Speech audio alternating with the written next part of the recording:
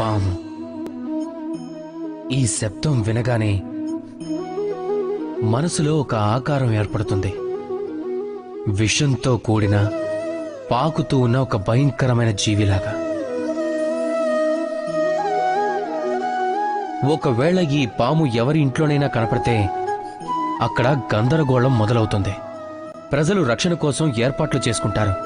కర్రలు తీసుకుని సిద్ధపడతారు ఆ పాము యొక్క ప్రాణాలు తీయటానికి. కానీ ఒకవేళ అదే పాము ఏదైనా మందిరంలో కనిపిస్తే అప్పుడు ఏమవుతుంది? ప్రజలు ఆ పాము ఎదుట వారి తలని ఉంచుతారు ప్రార్థనలు చేస్తారు. చేతులెత్తి మొక్కుతారు. పాలు తాగిస్తారు. స్వయంగా ఆ శివుడి ఆశీర్వాదం అనుకుంటారు. దీని గురించి మీరు స్వయంగా ఎప్పుడైనా ఆలోచించారా? ఆలోచించండి అక్కడ ఉన్నది కూడా మనుషులే. అక్కడ ఉన్నది కూడా పామే. మరి పరిస్థితుల్లో ఇంత తేడా ఎందుకు? ఒకరు ఒక చోట ఆ పాము యొక్క ప్రాణాలు తీస్తుంటే మరొకరు ఆ పాముకి పూజలు చేస్తున్నారు.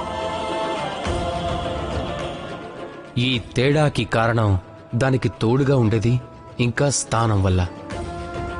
ఎప్పుడైతే ఒక పాముకి శివుడు తోడుగా ఉంటాడో మందిరం యొక్క పవిత్ర వాతావరణంలో ఉంటుందో అప్పుడు అది మనకి దేవుడులాగా కనిపిస్తుంది. లేకపోతే అది మనకి శత్రు అయిపోతుంది. అవునా? అయితే మీ జీవితంలో మీ తోడుని అలాగే స్థానాన్ని మీరు ఆలోచించి ఎంపిక చేసుకోండి. ఎందుకంటే ఈ ప్రపంచంలో మీ వ్యక్తిత్వం యొక్క గుర్తింపు మీ పక్కవారి నుంచే లభిస్తుంది.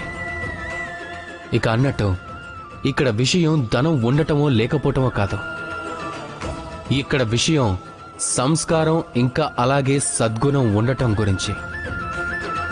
సద్గుణం తోడుగా ఉంటే అనుక్షణం మీరు గౌరవానికి కారకులవుతారు. రాధాకృష్ణ.